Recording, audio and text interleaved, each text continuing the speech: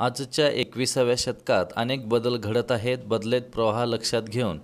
आपण ही प्रवाहाबरोबर बदलणे गरजेचे आहे. गाव समाज देश राष्ट्र घडवण्यासाठी युवा वर्गांची मोठी गरज आहे. हे आपण सर्वांनी लक्षात घेऊन सुस सुसंस्कृत समाज निर्माण करण्यासाठी व समाजाच्या उन्नतीसाठी आजच्या तरुणाने चांगले व्यासपीठ मिळवून देण्याची गरज असल्याचे मत श्रावकरत्न दक्षिण भारत जैन सभेचे अध्यक्ष रावसाहेब पाटील यांनी व्यक्त केले.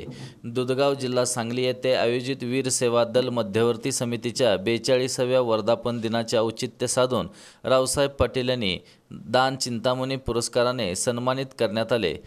प्रारंभी वीर सेवा दल मध्यवर्ती समितीचे अध्यक्ष शशिकांत राजोबा यांनी स्वागत करून प्रास्ताविकता श्रावक रत्न रावसाहेब पाटील यांनी गेल्या अनेक वर्षापासून जैन समाजाबरोबर जैनेतर समाजालाही गेल्या अनेक वर्षापासून मोठी आर्थिक मदत केली आहे.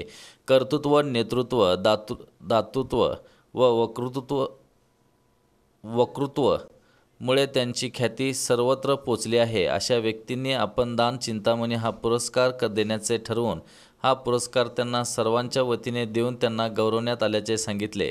परमपूज्य पावनसागर महाराज यांच्या सानिध्यात माजी खासदार राजू शेट्टी त्यांच्याबरोबर प्राचार्य श्रीधर हेरवाडे यांच्यासह मान्यवरांच्या हस्ते रावसाहेब पाटील व सौ मीनाक्षी पाटील दाम्पत्यांना